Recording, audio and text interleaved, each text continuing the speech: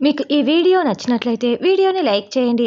Manisha bail తీసుకురావడంతో ప్రవీణ్ మిఠల్ చాలా చాలా సంతోషపడుతూ ఉంటారు. తర్వాత ఆకాష్ మనీషా ఇద్దరు కూడా బయటికి వచ్చి మాట్లాడుకుంటూ ఉంటారు. నువ్వు మాకు సహాయం చేశావని నీకు లక్ష్మి విషయంలో ఒక ముఖ్యమైన విషయం చెప్పాలని అనుకుంటున్నాను అని ఆకాష్ అంటాడు. ఏంటని మనీషా అనడంతో లక్ష్మి ప్రెగ్నెంట్ అని అందరూ అనుకుంటున్నారు కదా.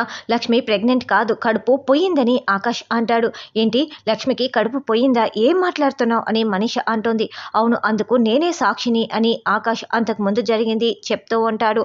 సంజన లక్ష్మి అబార్షన్ చేయించుకొని బయటికి రాగానే డాక్టర్ లక్ష్మి గారు ఇవిగోండి మెడిసిన్స్ మర్చిపోయారు అని మెడిసిన్స్ ఇస్తున్నప్పుడు ఆకాష్ చూసి ఉంటాడు. అలా లక్ష్మికి కడుపు లేదని కడుపు పోయిందని ఆకాష్ అనుకుంటూ మనీషకి ఆ విషయం చెప్తాడు. అందుకు నేనే సాక్షిని ఇప్పటికైనా అర్థమైందా? నా కళ్ళతో నేనే చూశానని ఆకాష్ అంటాడు.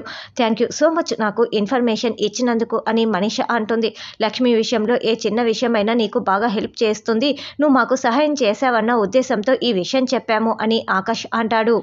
ప్రవీణ్ మిఠల్కి బెయిల్ రావటంతో బయటికి వచ్చేస్తాడు. ప్రతిసారి నాపై డిపెండ్ అవ్వాలని అనుకోవద్దు. ఏదో ఈ ఒక్కసారికి మాత్రమే నేను నీకు సహాయం చేశానని మనీష అంటుంది. అప్పుడు ప్రవీణ్ మిఠల్ చాలా చాలా సంతోషపడుతూ చూడు మనీష నాకు ప్రతిసారి అటువంటి అవసరం రాదులే.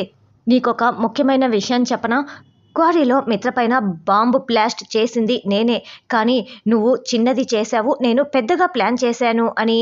నేను దొరికిపోయాను నువ్వు దొరికిపోలేదు అంతేనని ప్రవీణ్ మిట్టల్ చెప్పగానే మనీషా కంగారు పడుతూ ఉంటుంది. ఏంటి నువ్వు బాంబు బ్లాస్ట్ చేసింది నాకెలా తెలుసని అనుకుంటున్నావా? నాకు అన్నీ తెలుస్తూ ఉంటాయి మనీషా. ఈ విషయం ఎవరికైనా చెప్తానని టెన్షన్ పడిపోతూ చెమటలు పడుతున్నాయా? నువ్వు నాకు సహాయం చేసావు కదా. నేను విలన్లా కనిపిస్తానే కానీ నాకు సహాయం చేసిన వాళ్ళ జోలికి నేను రాను. నువ్వు నాకు పేలిచ్చి సహాయం చేసావు కదా. ఈ విషయం నేను ఎవరితోనూ చెప్పనులే. నువ్వు వెళ్ళు మనీషా. సంతోషంగా వెళ్ళు అని ప్రవీణ్ మిట్టల్ అంటాడు. మిత్ర సోఫాలో కూర్చొని ఉంటే అప్పుడే మిత్ర ఫ్రెండ్ బాలు బాలు భార్య యమున అక్కడికి వస్తారు. హాయ్ మిత్ర అంటూ అక్కడికి రావడంతో హాయ్ బాలు హాయ్ యమున ఎలా ఉన్నారు అని మిత్ర రిసీవ్ చేసుకుంటూ ఉంటారు. వివేక్ కూడా అక్కడికి రావడంతో హాయ్ వివేక్ ఎలా ఉన్నావు అని అంటుంటే మీరిద్దరూ ఎలా ఉన్నారు అని వివేక్ కూడా ప్రశ్నిస్తూ ఉంటారు.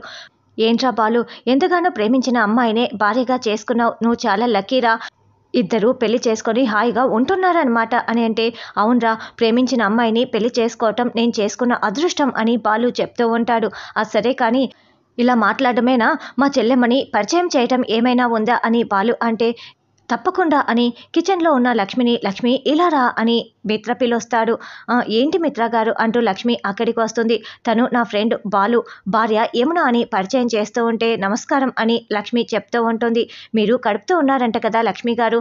అందుకే మీకోసం ఈ డ్రై ఫ్రూట్స్ తీసుకువచ్చాను అని యమున లక్ష్మికి ఇస్తుంది. దాంతో జయదేవ్ లక్ష్మి ఇద్దరు ముఖముఖాలు చూసుకుంటూ బాధపడుతూ ఉంటారు.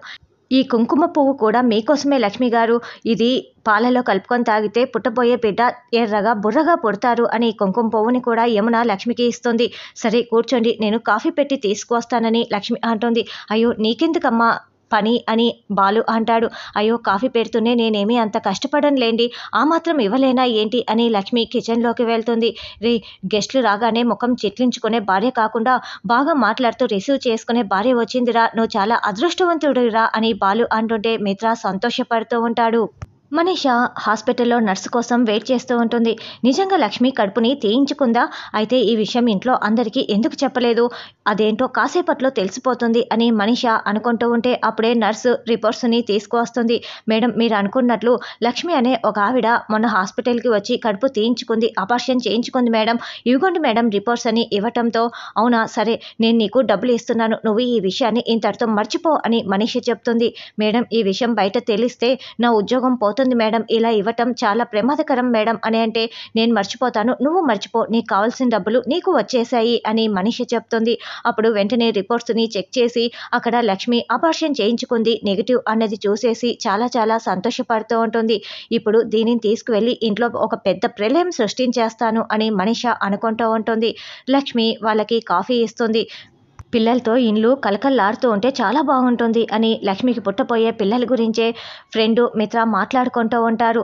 వీళ్ళు ఇక్కడి నుంచి వెళ్ళేలోపు ఈ మిత్రకి లక్ష్మికి బెస్ట్ భార్యాభర్తల అవార్డు ఇచ్చి వెళ్ళేలా ఉన్నారే. ఈ మనిష ఏమైపోయింది అని దేవయాని అనుకుంటూ ఉంటుంది. అప్పుడే అక్కడే కూర్చొని ఉన్న బామ్మ లక్ష్మి డెలివరీ అయ్యేలోపు కృష్ణుని గుడిలో వెండి ఉయ్యాల పెట్టిస్తానని మొక్కుకున్నాను. ఆ ఏర్పాట్లు చూడరా జయదేవ్ అని అంటే అంతెందుకు బామ్మ? ఒక మంచి ముహూర్తం పెట్టుకొని ఆ కార్యక్రమం నేనే దగ్గరుండి చేయిస్తానులే అని మిత్ర అంటే నువ్వు కూడా బాగా తొందరపడుతున్నట్లున్నావే. బిడ్డ ఇప్పుడే ఫాస్ట్గా డెలివరీ అయ్యేలా నువ్వు అనుకుంటున్నావు కదా మిత్ర అని బాలు అంటే అయ్యో అలా ఎలా అవుతుంది? పది నెలలు ఆగి తీరాల్సిందే అని యమున అంటుంది. అప్పుడే మనీషా అబార్షన్ రిపోర్ట్స్ని పట్టుకొని అక్కడికి వస్తుంది. వెండి ఉయ్యాలలు అది ఇది అని భలే కలలు కంటున్నావే. లేని కడుపు కోసం భలే ఎదురు చూస్తున్నారే అని మాట్లాడుతూ ఉంటుంది. ఏం మాట్లాడుతున్నావో సూటిగా చెప్పు అని మిత్ర వివేక్ అరుస్తూ ఉంటారు. ఈ ఇంటి కోడలు కడుపుతో ఉందని మీరనుకుంటున్నారు. కానీ కడుపు లేదు తీయించేసుకుంది. అంటే కరిగించేసుకుంది అని మనీష చెప్తుంది. ఏం మాట్లాడుతున్నావు మనీష? మతుండే మాట్లాడుతున్నావా అని మిత్ర అంటాడు. ఇలాంటి వాటికి సాక్ష్యాలు చూపించాలని నాకు బాగా తెలుసు మిత్ర. అందుకే నేను సాక్ష్యాలు కూడా తీసుకొచ్చాను. ఒకసారి ఈ రిపోర్ట్స్ చూడు నీకే తెలుస్తుంది అని మనీష ఇవ్వటంతో లక్ష్మి జయదేవ్ కంగారు పడిపోతూ ఉంటారు. మిత్ర ఆ రిపోర్ట్స్ని చూసి పేరు లక్ష్మి అని అబార్షన్ చేయించుకుందని ప్రెగ్నెంట్ కాదు నెగిటివ్ అన్న రిపోర్ట్స్ని చూసి షాకింగ్గా చూస్తూ ఉంటాడు. ఇక మిత్ర చాలా కోపంగా లక్ష్మి వైపు చూస్తూ ఉంటాడు. అరవింద షాకింగ్గా చూస్తూ ఉంటుంది. ఇప్పటికైనా అర్థమైందా? లక్ష్మి కడుపులో బిడ్డ లేదని మీరు ఆ పోయిన బిడ్డ కోసం ఇంకా ఎదురు చూస్తున్నారు. అసలు లక్ష్మి ప్రెగ్నెంటే కాదు కదా? కడుపు పోయినట్లు రిపోర్ట్స్ రావటం ఏంటి అని జయదేవ్ మనసులో అనుకుంటూ ఉంటే అప్పుడే మిత్ర ఆ ఫైల్ పట్టుకొని లక్ష్మి దగ్గరికి వచ్చి ఏంటి లక్ష్మి? అని నిలదీస్తూ ఉంటాడు. మిత్ర నీకు బిడ్డ పుట్టపోతున్నాడని విష్ చేద్దామని వచ్చాము. చాలా సంతోషంగా వచ్చాము. కానీ ఇక్కడ పరిస్థితులు వేరుగా ఉన్నాయి కదా. సారీ మిత్ర మేము వెళ్తున్నాం అని బాలు యమున అక్కడి నుంచి బయలుదేరి వెళ్తారు. ఏంటి లక్ష్మి ఇదంతా నిజమేనా అని మిత్ర అంటే లక్ష్మి తలదించుకొని ఉంటుంది. తలదించుకోవటం నేను అడిగిన ప్రశ్నకి సమాధానం కాదు లక్ష్మి. సమాధానం చెప్పమని అడుగుతున్నాను కదా అని మిత్ర అరుస్తూ ఉంటాడు. తప్పు చేసిన వాళ్ళే తల దించుకుంటారు మిత్ర. తను ఇంకా కడుపుతో లేదని కడుపుతో ఉన్నట్లు మిమ్మల్ని అందరినీ కూడా మోసం చేస్తోందని ఇంకా మీకు అర్థం కావటం లేదా అని మనిష అంటుంది. ఇప్పుడు నేనేం మాట్లాడినా కూడా ఏదో ఒక కొత్త సమస్య బయటికి వస్తుంది. కాబట్టి నేను అవునని చెప్పలేను కానని చెప్పలేను అని లక్ష్మి తనలో తాను మనసులో అనుకుంటూ ఉంటుంది. ఏంటి లక్ష్మి? నువ్వు సమాధానం చెప్పనంత మాత్రాన నేను ఏంటన్నది తెలుసుకోలేనని అనుకుంటున్నావా? హాస్పిటల్కి వెళ్తే అన్ని నిజాలు బయటికి వచ్చేస్తాయని మిత్ర అంటాడు. ఇప్పుడు మిత్ర గారు హాస్పిటల్కి వెళ్తే సంజన గురించి తెలిసిపోతుంది. అప్పుడు సంజన జీవితం అయోమయంలో పడిపోతుంది. అందరూ చులకన భావంతో చూస్తారు అని లక్ష్మి మనసులో టెన్షన్ పడుతూ ఉంటుంది.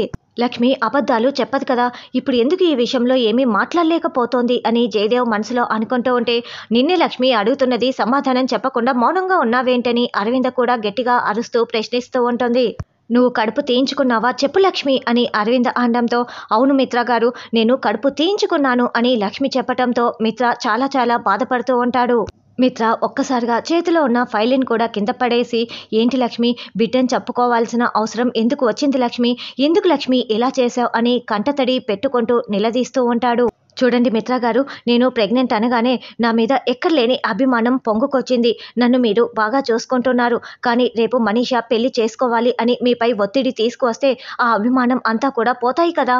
అరక్షణంలో ఇంతకుముందు ఉన్న ప్రేమాణాలన్నీ కూడా కరిగిపోతాయి. అంత మాత్రానికే కడుపు ఎందుకు తీయించుకోవడం అని కదా మీ ప్రశ్న? ఎవరో ఏదో అన్నారని ఆ రామయ్య తండ్రి కూడా సీతమ్మ వారిని అడవుల పాలు చేసేశారు. అలాగే మీరు కూడా ఈ మనిషి మాటలతో నన్ను వీధిలోకి విసిరిపడేస్తారు. అప్పుడు నా కడుపులో బిడ్డ తండ్రి లేనివాడిగా పెరగాలి తండ్రి ప్రేమ లేనివాడిగా పెరగాలి. ఇదే కదా పుట్టబోయే నా బిడ్డకి మీరిచ్చే బహుమతి? అని లక్ష్మి మిత్రతో చెప్తూ ఉంటుంది.